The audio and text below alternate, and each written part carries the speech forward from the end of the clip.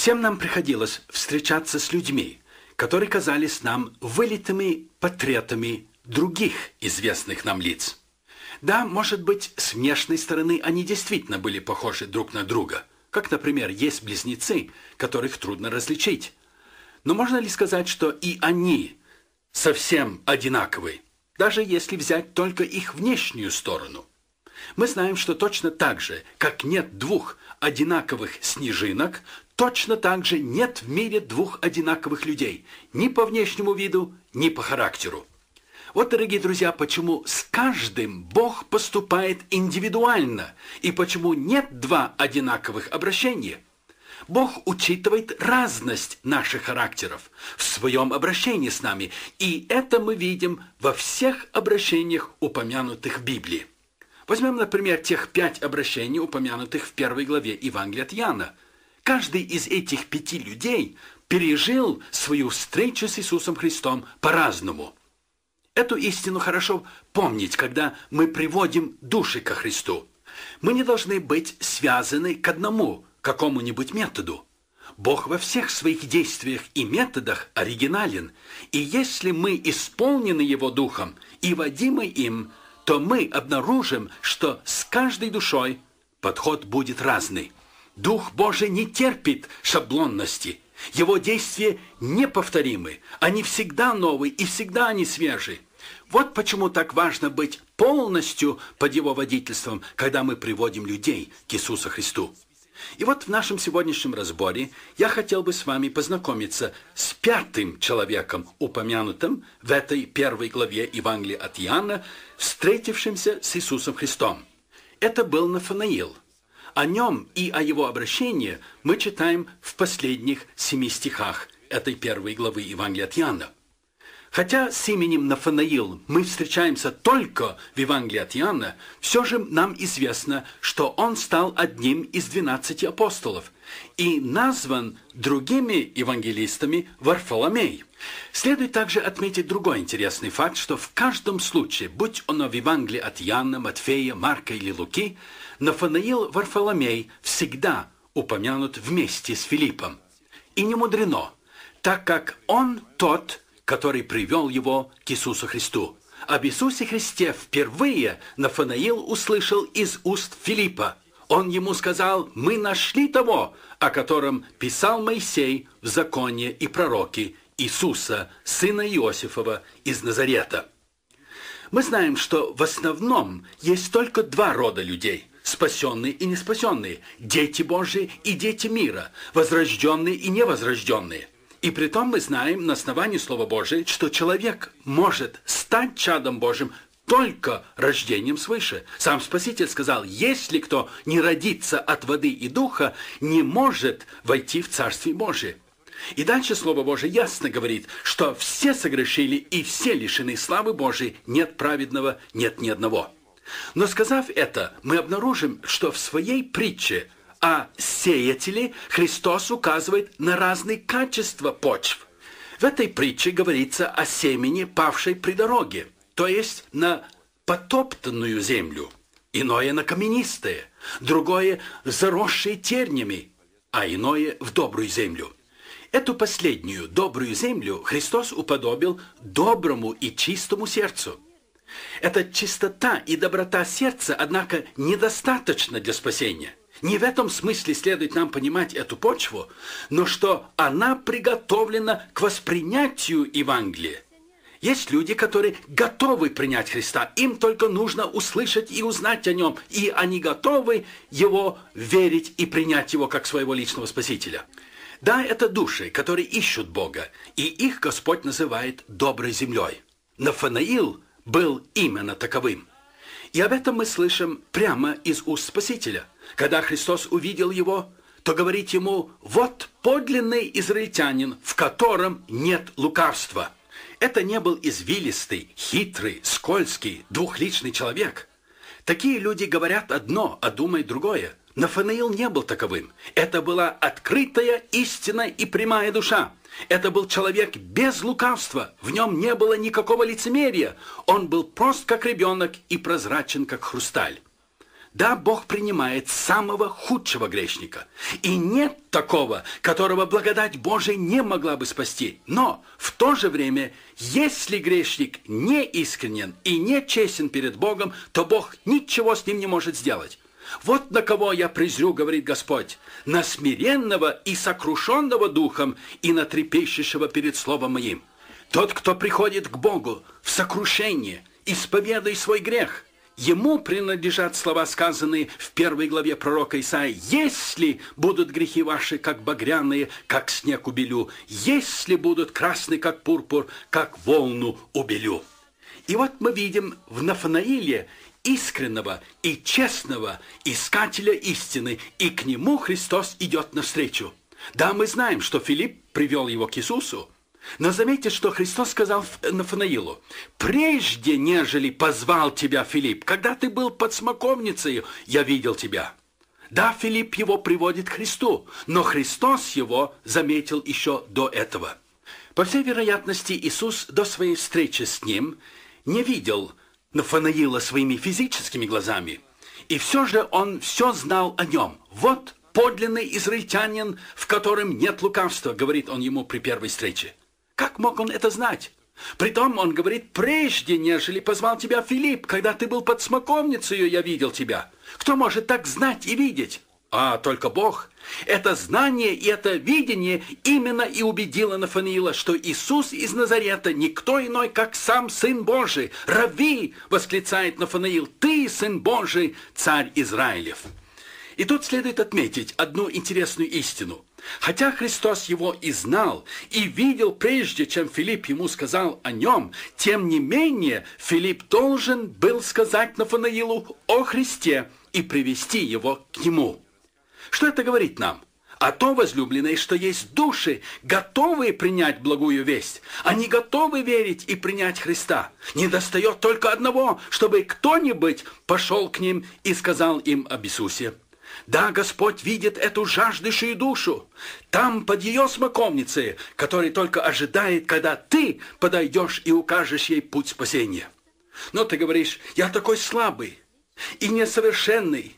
Я не умею говорить.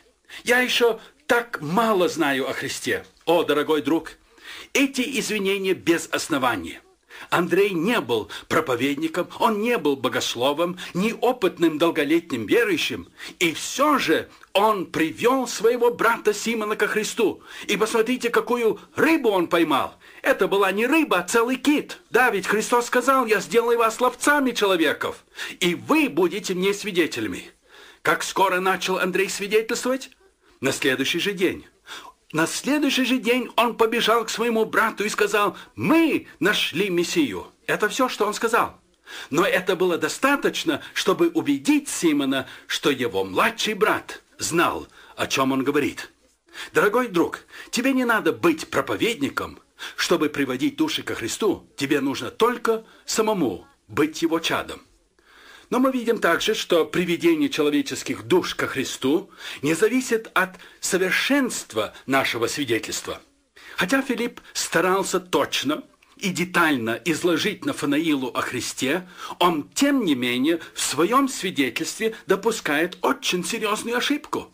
И при том ошибку о личности Иисуса Христа. Мы нашли того, о котором писал Моисей в законе и пророки Иисуса – да, до сих пор все в порядке, все правильно и точно. Но слушайте, что он дальше говорит. Сына Иосифова из Назарета. Это была серьезная ошибка. Иисус не был сыном Иосифова. Он был сыном Божьим. И, как ни странно, несмотря на эту грубую ошибку, Нафанаил уверовал. Это не значит, что безразлично, говорим ли мы точно или нет. Но в данном случае Филипп лучшего не знал. Причина его ошибки было его невежество – что в нем похвально, это то, что он говорил то, что знал. Знание его было ограничено, и, как мы обнаружили, часть его знания была ложным, но это не помешало ему засвидетельствовать о своем Спасителе. Он не сказал «мы нашли Сына Божия», но прошу отметить, что когда Нафанаил его встретил, то сразу он говорит «ты Сын Божий». О, дал бы Господь каждому из нас ревность по приведению душ ко Христу. Мой друг, если ты спасен, один только день, тебе не нужно больше ждать, чтобы сказать кому-нибудь о Христе. Если ты познал Христа, как бы не было бы ограничено твое знание о нем, ты имеешь полное право говорить другим о нем и приводить души ко Христу. И когда они придут к Нему, то они сами Его познают и тоже скажут «Ты Христос, Сын Бога Живого». Да, Филипп ему не только сказал, что он знал о Христе, но он привел Нафанаила к Иисусу. Но заметьте, что Нафанаил, хотя и был человек без лукавства, он все же не был без пристрастия. Он имел свои предубеждения, и они ему помешали бы, но Филипп с ним разумно поступил. Вы заметили, как Нафанаил ответил Филиппу? «Из Назарета может ли быть что доброе?» Он был убежден, что нет. И тут мы видим человека, в котором, хотя и не было лукавства, он, тем не менее, не был без пристрастия. Он имел свои предубеждения. И Филипп, вместо того, чтобы с ним спорить, просто говорит «пойди и посмотри». И Нафанаил доказал свою искренность, что в нем не было лукавства тем, что он пошел к Иисусу. Сердце Нафанаила было приготовлено – он искал истину, он жаждал познать Бога. И когда Филипп ему сказал, пойди и посмотри, Нафанаил сразу откликнулся, пойду и посмотрю. Что лучшего можем мы предложить грешнику, как не прийти к Христу и самому узнать? Псалмопевец говорит, вкусите и увидите, как благ Господь. Все аргументы, все предрассудки и пристрастия кончаются, когда грешник приходит к Иисусу Христу. Нафанаил был до того искренен, что, несмотря на свои предрассудки, он пошел, чтобы узнать, верно ли то, что Филипп ему сказал. Если человек не искренен и не честен, то никакие аргументы, доводы и доказательства его не убедят. Он всегда найдет какое-нибудь извинение, чтобы не верить. Мой дорогой друг, если ты имеешь какие-либо предубеждения относительно Евангелия, то лучше, что я тебе могу сказать, это прийти к Иисусу Христу самому. Ничто, как личная встреча с Христом, не может устранить все эти преграды. Приди и увидишь, как благ Господь. Что Нафанаил сразу же поверил, это мы видим как из его свидетельства, а также из слов Христа. Заметьте, коль скоро Нафанаил говорит «Рави, ты сын Божий, ты царь Израилев», Иисус ему отвечает ты веришь, потому что я тебе сказал? Я видел тебя под смоковницей, увидишь больше всего. Дорогие друзья, когда мы вступаем в союз со Христом верой, то это только начало. Ты, который познал Христа и принял Его как своего личного Спасителя и Господа, перед тобою самая захватывающая жизнь. Отныне, говорит Христос, будете видеть небо открытым – до сих пор небо было закрыто. Но когда Христос входит в нашу жизнь, в наше сердце, небо над нами открывается. Отныне будете видеть небо отверстым и ангелов Божьих, восходящих и нисходящих к Сыну Человеческому.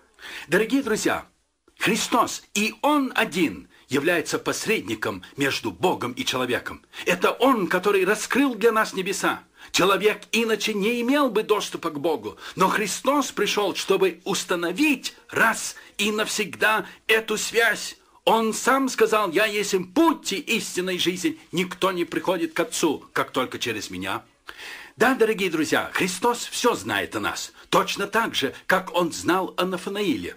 Он видел каждую мысль Нафанаила там, где он сидел в одиночестве под своей смоковницей. Дорогие друзья, Каждый из нас имеет свою смоковницу. Это наши тайные мысли, желания и стремления, о которых никто не знает, только один Бог. О, мой друг, знай, что каждую твою слезу, каждый твой вздох, который исходит из глубины твоего скорбящего сердца, который никто не видит и никто не слышит, видит и слышит Господь. Прежде чем ты услышал эту передачу, Господь уже увидел твои слезы. Они все сочитаны у него. Да, он видел тебя, он знает каждую твою мысль и твое желание. Точно так же, как он все знал о Самарянке, о Закее, о Нафанаиле.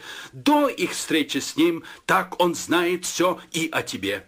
Тебе остается только одно – иметь личную встречу с Ним, поручить целиком свою жизнь Ему, и тогда над тобою тоже откроются небеса, и ты увидишь больше всего того, чего мог бы себе и представить.